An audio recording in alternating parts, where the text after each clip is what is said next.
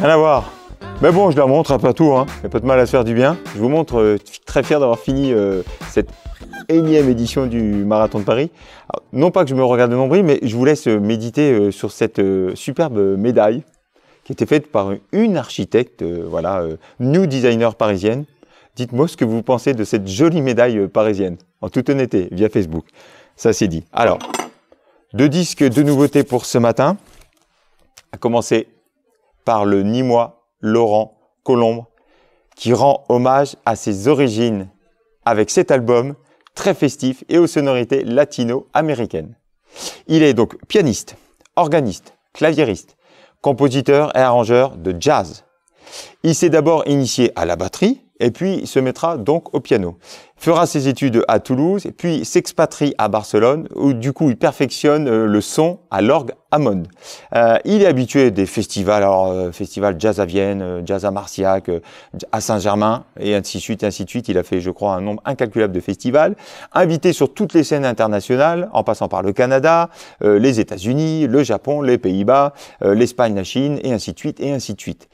Il a été sacré artiste instrumental aux Victoires de la musique en 2020, Victoire de la musique jazz. Son précédent album, en fait, était un hommage à Michel Petrucciani. Par ailleurs, élu aussi meilleur disque de jazz français la même année, donc en 2019. Juste avant qu'il ait été sacré, en fait, euh, sacré artiste de jazz. Voilà. Euh, il livre avec cet album, on le voit à peine, le titre, Meva Festa. Alors il faut le traduire comme euh, ma fête. Euh, c'est un mélange de catalan et de brésilien, comme pour célébrer ses origines et espagnoles et donc son goût pour l'Amérique latine. Une partition donc très festive cette fois-ci, mélangeant, mélangeant exotisme euh, du sud, voilà donc euh, très ensoleillé. Euh, il est maître dans l'art de mélanger les genres. Pourquoi je vous dis ça? Puisqu'en fait l'album d'avant, celui de Hommage à Petrucciani, était un album plutôt jazz fusion. Donc voilà, plusieurs cordes à son arc. Donc je disais l'art de mélanger les genres. Pour Meva Festa, en fait, il, cet album est né de la rencontre euh, avec le percussionniste brésilien Adriano dos Santos Tenario, avec qui il a partagé donc quelques sessions euh, jam durant le confinement. Voilà. Et donc c'est ce percussionniste qui va euh, l'initier euh, à la musique latino et notamment ce qu'on appelle au latin jazz. Euh, Laurent Coulombe donc réussit cette fois-ci une belle palette, il réunit pardon une belle palette de musiciens autour de lui pour donc un projet, et vous l'avez compris, placé sous le signe du soleil. Donc on va commencer tout de suite avec le titre éponyme, donc Meva Festa. Entre rythme allaitant, vous allez l'entendre, et fulgurance mélodique, résonance cubaine donc, et brésilienne, avec une section de cuivre de luxe, puisqu'on y trouve trompette, on y trouve des saxophones, j'ai bien dit des saxophones, trombones, des flûtes aussi, euh, une section rythmique de choc avec deux percussionnistes, un cubain, un brésilien, parité oblige, euh, et forcément des envolées célestes, deux pianos, Meva Festa.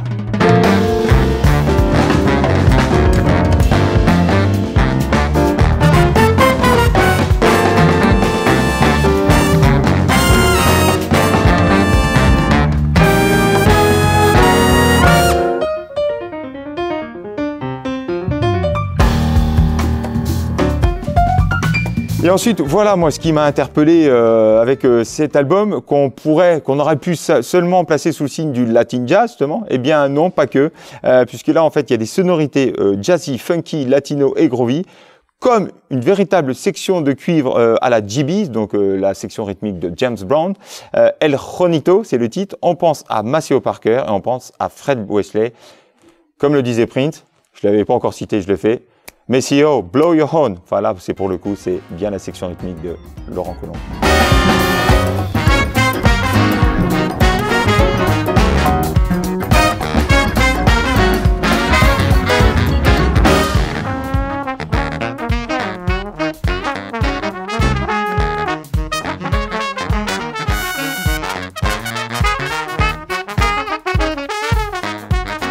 Alors, il en est de même avec le titre qui suit.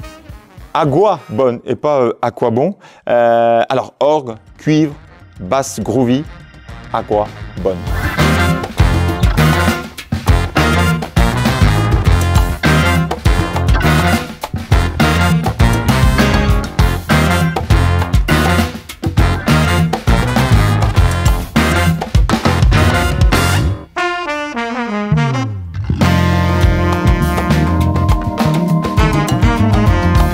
Et donc on revient avec euh, un cool jazz, euh, jazz cool, cool jazz et latino, très smooth, euh, flûte, piano, percussion, cubano jazzy et brésiliano, c'est moi qui appelle ça comme ça, très dansant quand même. Alors on se bouge langoureusement le, le popotin avec le titre, alors oui, qui s'appelle Memoria Part 1, parce qu'il y a un Memoria Part 2, beaucoup plus festif, beaucoup plus musique brésilienne, accompagné quand même de, de André Secarelli, donc batteur de jazz, célèbre batteur de jazz, donc Memoria Part 1.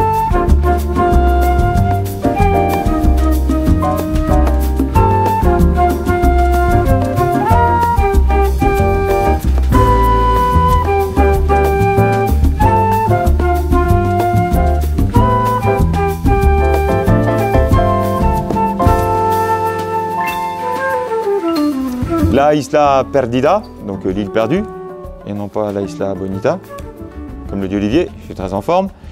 J'ai mangé un clown. Jazz, volute de piano, euh, latin jazz, contrebasse. Euh, alors, et la, batterie jouée au, ballet, des percussions, forcément, des chimes. Pour ceux qui savent pas ce que sont les chimes, vous savez, c'est une percussion avec des tubes en laiton qu'on fait frotter avec un maillet. Voilà, des chimes qui rendent le, voilà, la beauté du titre. Donc, un titre très low tempo.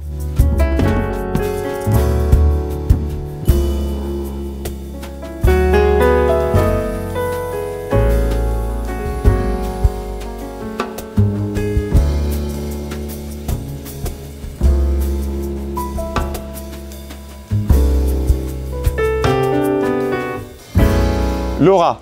Alors un titre qui s'étire, qui s'étire qui s'accélère plus on avance dans le titre. Très Amérique latine et dansant encore. On écoute Laura.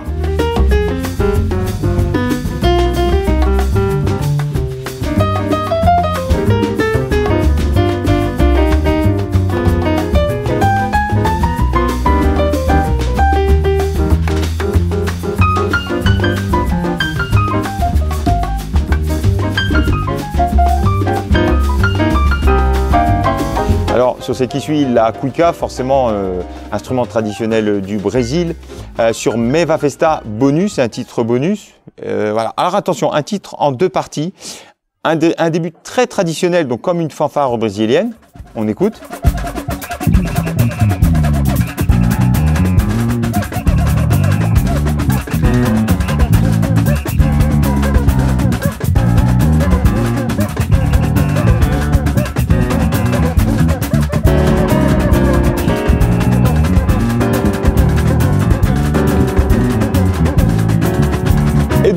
Tout s'arrête, véritablement, ça s'arrête à 1 minute 23, avec un véritable blanc de plus de 20 secondes, et ça repart avec donc du coup un piano solo majestueux.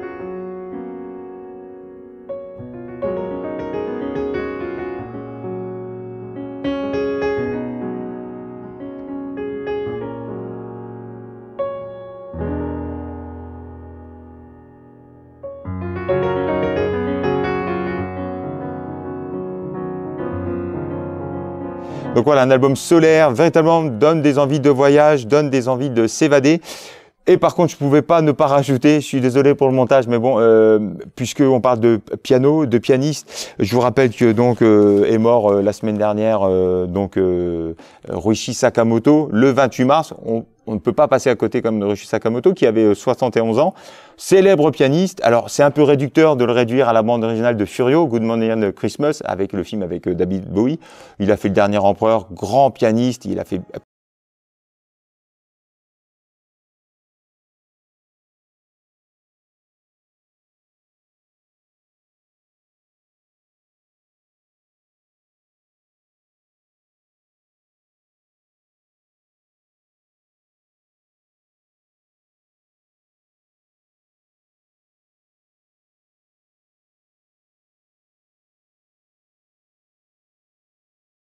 Belle mélodie quand même.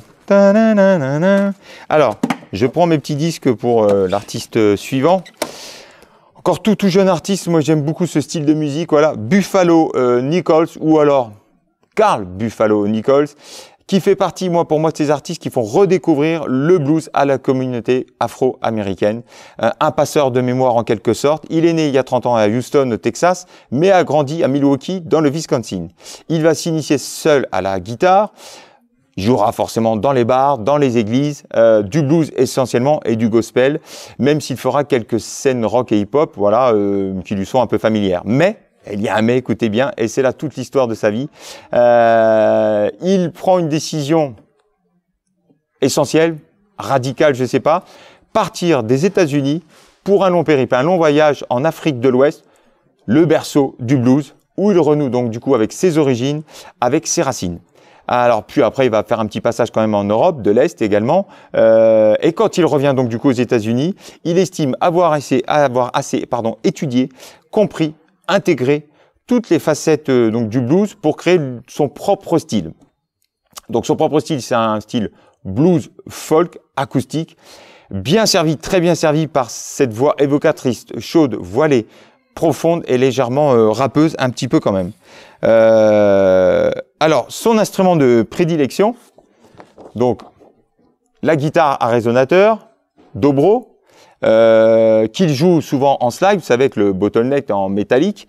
Euh, je vous conseille, et je vous en reparlerai tout de suite après, d'aller voir quelques vidéos. Alors, faire simplement, le son est produit en fait et amplifié par, à l'aide d'un ou plusieurs cônes métalliques tout simplement, on peut dire que c'est une guitare beaucoup plus puissante, c'est un son beaucoup plus puissant et beaucoup plus euh, métallique. Voilà, il n'y a pas besoin d'être amplifié. Donc, un album maîtrisé euh, et des textes qui traduisent quand même un certain désenchantement. Euh, cet album, unplug, acoustique essentiellement, traduit en effet un certain, des, certains déchirements. Alors, celui de vivre euh, un enfer sur Terre, celui entre autres aussi euh, d'être aimé pour ce que l'on est et non pas pour ce que l'on a, euh, et aussi celui de ne jamais voir la société américaine s'affranchir des violences, qu'elles soient sociétales ou policières, structurelles, entre autres. L'effet produit de ce premier album, et c'est un premier album, et quel premier album, est très très proche, tant au niveau du style que du propos, de ceux qu'on avait découvert, enfin de celui qu'on a découvert il y a quelques années de ça, de Eric Bibb, pour le blues en tout cas, et pour l'acoustique, qu'on a découvert aussi il y a un moment l'univers de Kebmo, pour la famille instrumentale, au début de sa carrière et encore maintenant l'univers aussi de Guy Davis. Et donc, euh, attention, là, euh, on est vraiment sur un univers très très proche avec Alvin Youngblood Art, euh, qui, là, il a une guitare acoustique entre les mains, mais qui lui aussi, alors, est dans la voix, et dans les textes, et dans la façon de jouer, qui joue aussi donc la guitare à résonateur. On est très très proche de cet univers, véritablement. Et on se rapproche aussi énormément de l'univers de Corey Harris. Je vous en ai déjà parlé plusieurs fois. Euh, alors cet album en plus est super parce que voilà euh, Mississippi to Mali, parce que voilà il y a aussi un documentaire qui se raccroche et que je vous conseille de cet album. Et voilà, je vous remontre un autre album de Corey Harris puisqu'on voit la guitare à résonateur. Donc dans le style, pour ceux qui aiment euh, voilà ce qu'on va entendre, n'hésitez pas à redécouvrir aussi tous ces artistes là. Euh, voilà. Donc là, ah oui, des gens pour moi qui savent faire passer euh, la musique de leurs ancêtres euh, en acoustique et c'est très important. Alors on commence tout de suite avec le premier titre qui s'appelle Lost and Lonesome.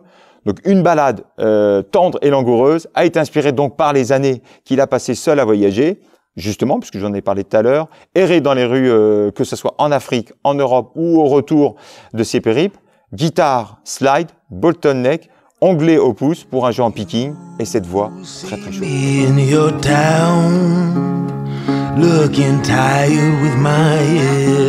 down. You may wonder what went wrong. Why am I always alone? I Living Hell. Donc on en sent là véritablement qu'il maîtrise euh, voilà son instrument.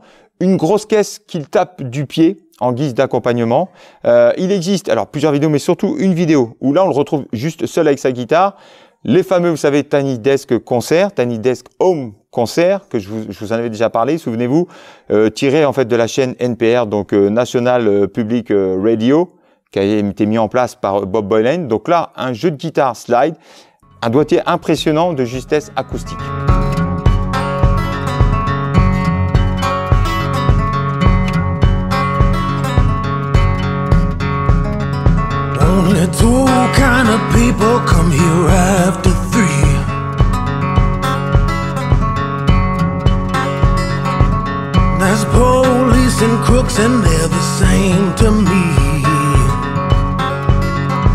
Un titre emprunté à Skip James, j'aurais pu vous sortir un album de Skip James, Sick Bed Blues, remarquable, une voix qui raconte vraiment tant de choses.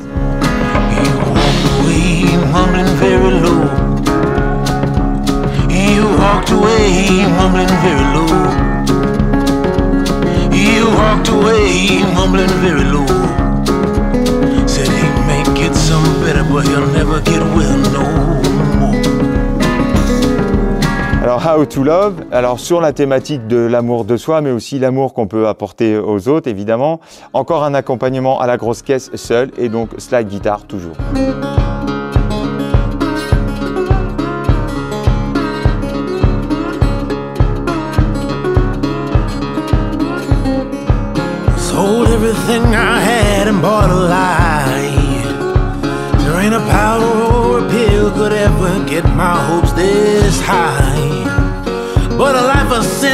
Alors, Another Man, alors tiré du traditionnel de Vera Hall, ancienne chanteuse de blues. Vous allez me dire qui est Vera Hall? Je suis sûr que vous connaissez Vera Hall, en tout cas, je pense quand même, euh, puisque en fait Moby l'avait samplé. Alors, il avait samplé son titre, euh, incommensurable, Trouble So Hard, oh Oh Lord, voilà, qu'on retrouvait donc sur cet album qui a fait un, tabac monstre, euh, voilà, avec le titre Natural euh, Blues. On écoute un petit peu de Moby pour se faire plaisir.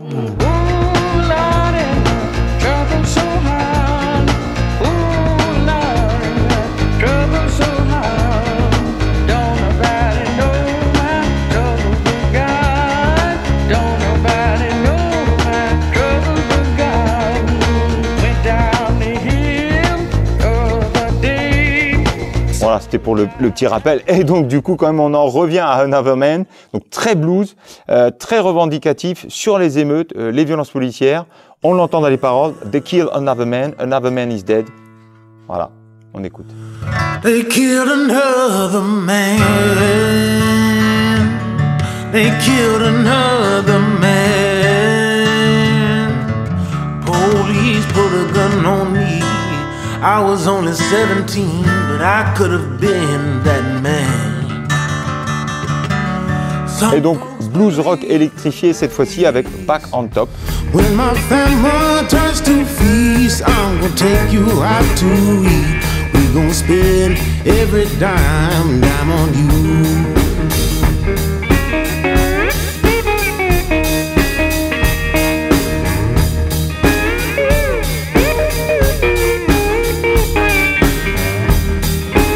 donc on finit, avec Sorry It Was You.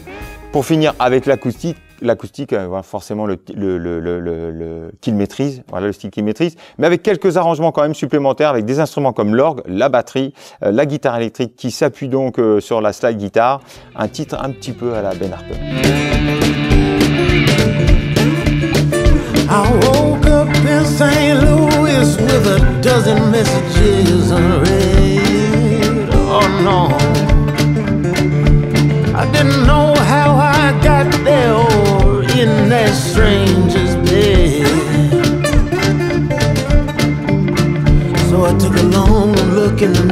Simplicité, prenant, addictif, court, intense, un classique du genre, moi je trouve. Il a réussi vraiment à créer euh, de, belles, belles mélodies euh, entêtantes. Et bien évidemment, on se quitte avec euh, le même, le meilleur. Kiss.